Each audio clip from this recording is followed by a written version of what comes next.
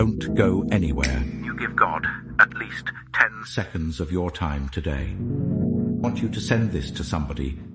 Imagine Jesus whispering in your ear, My dear child, right now, in this quiet moment, know that I am with you.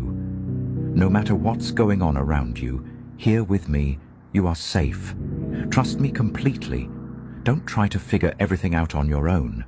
In every situation you face, I am your solid ground, your calm in any storm. When you start to worry, remember that my love for you is a safe place, a strong place where you can feel strong too. Let my words light up your way when things seem dark. I am not just here to save you. I'm here to be your friend, always ready to hear you and lift you up. Let's pray together. Dear Jesus, thank you for being close and bringing peace to my heart. Help me listen to you, trust your words, and feel brave because of your love.